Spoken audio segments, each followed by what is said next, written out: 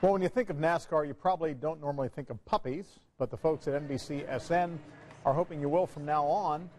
They've brought the NASCAR and NBC Pup Series to Indianapolis this weekend to draw attention to the Brickyard 400. The puppies are all named for NASCAR drivers, and they've even got their own racetrack. So everybody loves puppies, and we figure that if we can get the conversation going about puppies, that's going to lead to NASCAR, it's going to lead to animal adoption, and it's a win-win for everyone. Who doesn't love puppies? Everybody loves puppies, and the puppies are from local shelters too, and the North Shore Animal League America. They're going to be back out at Monument Circle tomorrow morning at 11 and again on Saturday.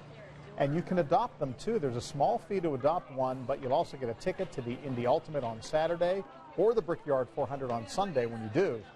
You will see the puppies tomorrow on Sunrise as well.